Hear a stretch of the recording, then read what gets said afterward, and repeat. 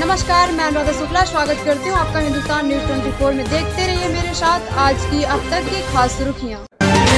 भागलपुर नाथनगर नामांकन के अंतिम दिन लोगों ने हर पल के पर्चा दाखिल किया। वही भवालपुर पंचायत के पंचायत समिति प्रत्याशी उम्मीदवार संगीता देवी ने बताया कि पंचायत की जनता हमको एक मौका दे, हम हर वर्ग के लोगों को विकास से जोड़ने का काम करेंगे। और जिस तरह से पंचायत में भ्रष्टाचार हुआ है उसको हम आम जनता के सामने उजागर करेंगे और बेनकाब करेंगे। रही विकास की बात तो पंचायत में विकास कार्य आदर्श पंचायत का दर्जा दिलवाने का काम करेंगे यही मेरा मुद्दा है। और दीपावली के शुभ अवसर पर मैं जनता को हार्दिक बधाई देती हूँ। मेरा नाम संगीता देवी है। संगीता देवी। कौन सा पंचायत से हैं? पंचायत से। क्या चीज़ में नॉमिनेशन कराए आप? पंचायत समिति में। पंचायत समिति में नॉमिनेशन कराएँ। आपका मुद्दा क्या है? मेरा मुद्दा है कि पंचायत को आगे बढ़ाना है।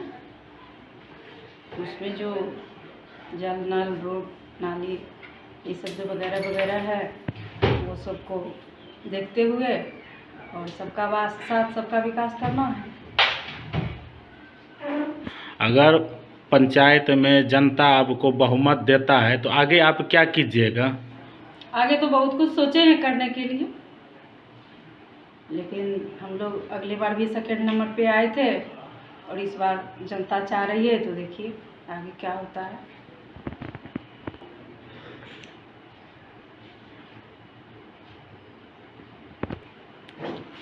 अगर जनता आपको बहुमत देता है, पूर्ण बहुमत, आपको पंचायत समिति बना देता है तो जनता के लिए क्या क्या कीजिएगा?